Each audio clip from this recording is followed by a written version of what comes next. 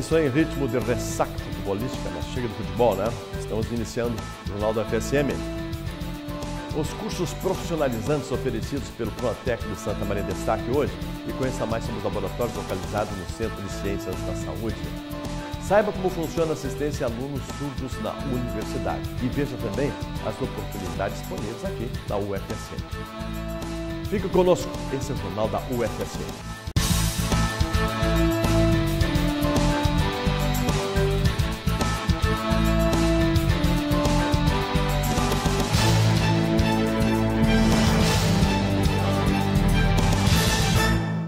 Garçom, vendedor, eletricista, esses são alguns dos cursos que o Pronatec Santa Maria oferece à comunidade de baixa renda.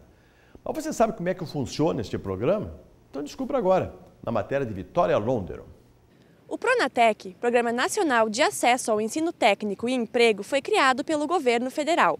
O objetivo é ampliar a oferta de cursos de educação profissional e tecnológica. O programa é voltado a famílias que recebem benefícios de programas assistenciais do governo, como o Bolsa Família. A idade mínima para ter acesso ao Pronatec é de 15 anos. Nós temos a, a ideia de que o Bolsa Família é uma porta de entrada no sentido do desenvolvimento social e o Pronatec é a grande alavanca aonde a família pode uh, sair do Bolsa Família, mas poder a, alcançar uma outra condição social, aonde ele possa então proporcionar aos seus membros um futuro muito melhor do que temos hoje. Em Santa Maria, o Pronatec oferece os cursos FIC, formação inicial e continuada. As aulas são ministradas no Senai, no Senac, no SEST Senat e também no Colégio Politécnico da UFSM. Esse público que a gente consegue para esses cursos é realmente um público que há muito tempo não estava em sala de aula e que, para que ele consiga ter um espaço no mercado de trabalho, essa qualificação vai ser muito importante. Bruna tem 20 anos e optou pelo curso técnico de desenvolvimento cooperativista. Eu me vejo trabalhando em alguma cooperativa e ou até eu mesmo criando uma cooperativa, por que não pensar nisso? Porque é um, é um ramo grande e, e, e abre bastantes, bastante ramificações. Ao todo, são 40 cursos sendo desenvolvidos no primeiro semestre deste ano. Segundo a interlocutora do Pronatec, Daniele Lang, a procura tem sido grande. Então, nós pactuamos é, mais ou menos 40 cursos no início do ano, que geraram em torno de 60 turmas, né? porque tem cursos que foram desenvolvidos mais de uma vez. É, e começa hoje a inscrição para escolas que desejam participar do novo evento organizado pela Universidade é, O Descubra a UFSM. Bom, o prazo vai até o dia 15 de agosto e as inscrições devem ser feitas no site da Coperves. O evento substitui a Profitex, que era a mostra integrada das profissões, tecnologias, culturas e relações comunitárias, que contou com três edições.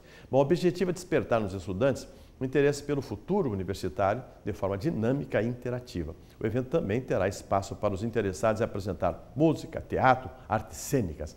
Bom, em caso de dúvida aí, né, entre em contato lá com a Copers, telefone 55 3220 8170 ou pelo e-mail falecom@copers.fsm.br. Vamos agora a um breve intervalo e a seguir conheça mais sobre o Centro de Ciências da Saúde da UFSM. Nós já voltamos.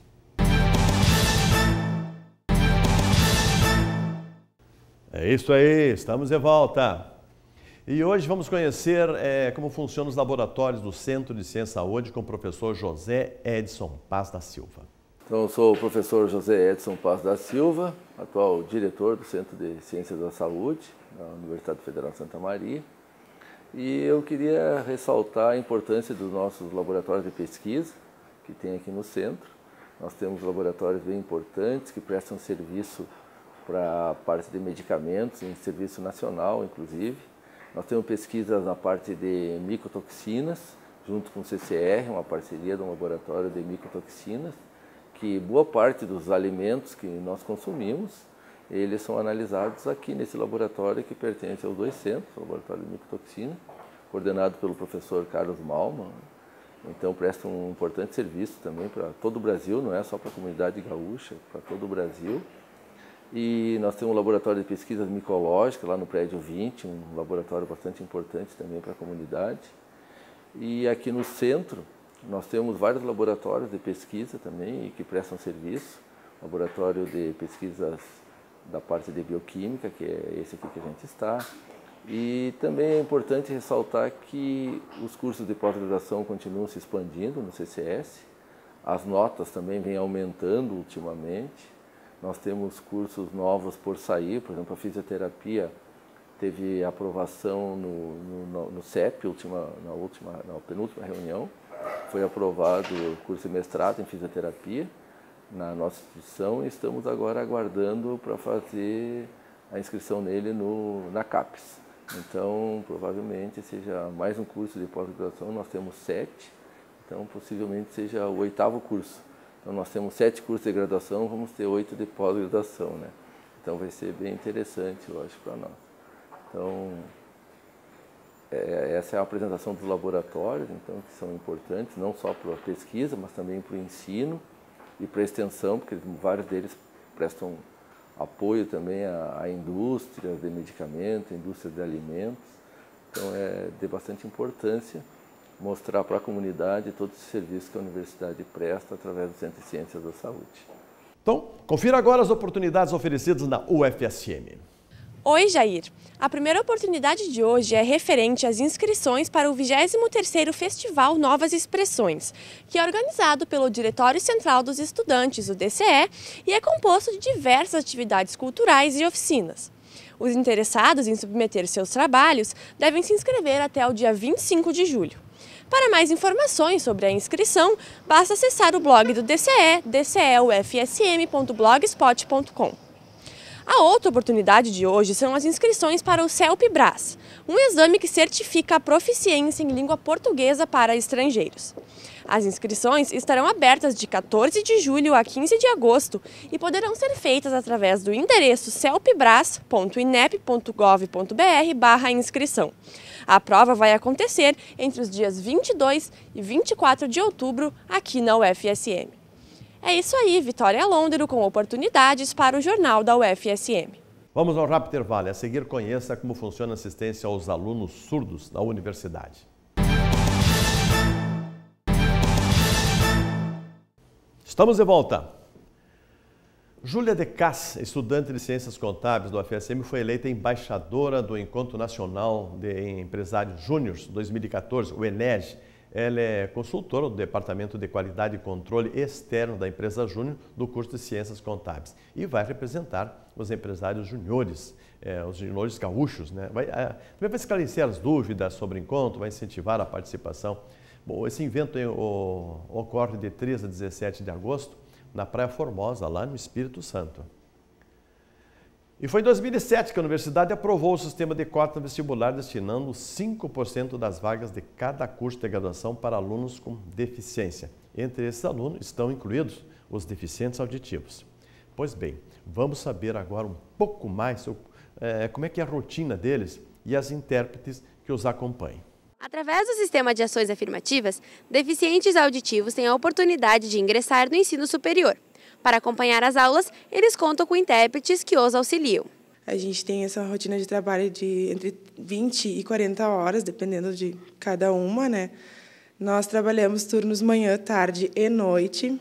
A maioria dos alunos surdos se concentra na parte da noite. E a gente tem uma rotina bastante agitada, né? Porque são horas intensas de aula, né? Direto, por exemplo, da 13h30 até as 17h30, 19 horas já começa a próxima aula e assim a gente está com as 40 horas na semana. As intérpretes auxiliam 13 alunos e 5 professores. Elas são responsáveis pela tradução e interpretação de aulas, seminários, palestras e outras atividades pedagógicas. Todos os cursos de graduação estão aptos a receber alunos surdos, porém, a quantidade de intérpretes é um problema. Nós temos muitos alunos, entram muitos alunos a cada semestre, e nós somos em poucos servidores que atuam como tradutores e intérpretes de língua de sinais. Então, a gente tem essa demanda uh, muito grande e somos em poucas que a gente tem que até apelar para bolsistas que tenham alguma fluência em Libras para poder fazer esse trabalho junto com a gente.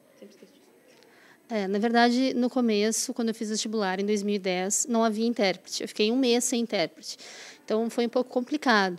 Então os colegas me ajudavam, uh, escreviam para mim. Aí depois de um mês mais ou menos, uh, meu, meus professores, o coordenador também uh, houve uma, uma, uma movimentação para algum contrato de intérprete. E aí então era um contrato um contrato ter, terceirizado e foi tranquilo depois. Na verdade, eu me, adapto, muito bem, né? A questão da, na, da questão pedagógica, quando, desde que, que haja legenda, é, é tudo tranquilo. É, questão de, de mídia, enfim. também com os professores, a relação é muito tranquila, nunca tive problema. Eles são os professores são muito atenciosos comigo. As ações afirmativas buscam democratizar o ensino na universidade e possibilitar que toda a população tenha acesso ao ensino superior. Então, para mim é muito significativo estar no ensino superior. Uh, pela questão da aprendizagem, eu não vejo uma barreira por eu ser surdo. Eu acho que existem diferentes aprendizagens. Uh, e aqui o curso de comunicação, a área de comunicação, eu acho muito importante também, porque eu sempre quis aprender mais, conhecer, eh, ter diversas experiências, né? me aproximar de diferentes realidades. E eu acho que, que essas experiências me trazem um, um aprendizado melhor para a minha vida, né? me ajuda como, como pessoa, na sociedade, na questão né, da informação, da interação, enfim. E hoje ficamos por aqui. Lembrando que você pode também nos assistir pelo site fsm.br barra TV Campus. E também pode enviar sugestões, ideias e matérias para exibirmos aqui no nosso jornal. É só mandar um e-mail para tvcampus15.gmail.com ou entrar em contato pelo telefone 3220-8624. Nós voltamos amanhã com mais notícias às 11h30 da manhã e reprise depois às 7h30 e depois às 9 da noite. Obrigado, até lá!